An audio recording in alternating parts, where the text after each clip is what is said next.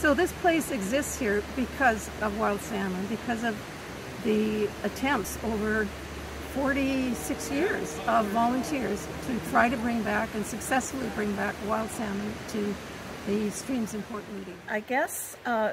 it was two and a half years ago we started uh, actually testing water quality and as a,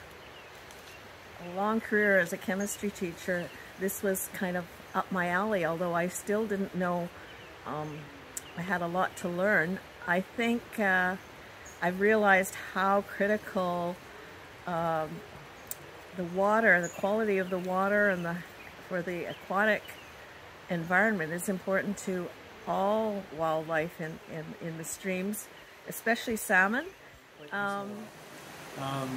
and when you see the life cycle of the salmon, you see the salmon coming back, and you see all of the, you, you start to learn about all of the, the um, how difficult it is for them to make their migration out and come back.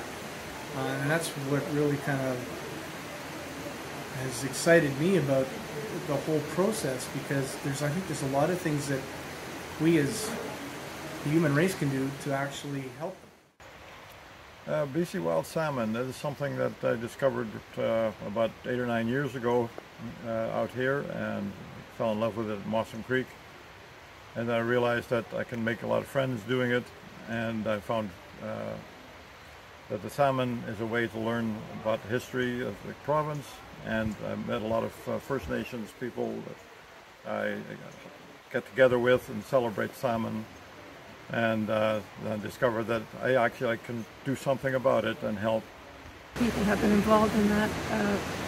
that attempt, uh, that exercise. It's been successful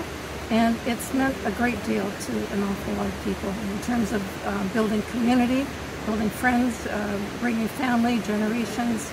learning, uh, learning about uh, wildlife and watersheds. Uh, it, it's, it's, it's been a phenomenal journey to uh, be part of this BC wild salmon.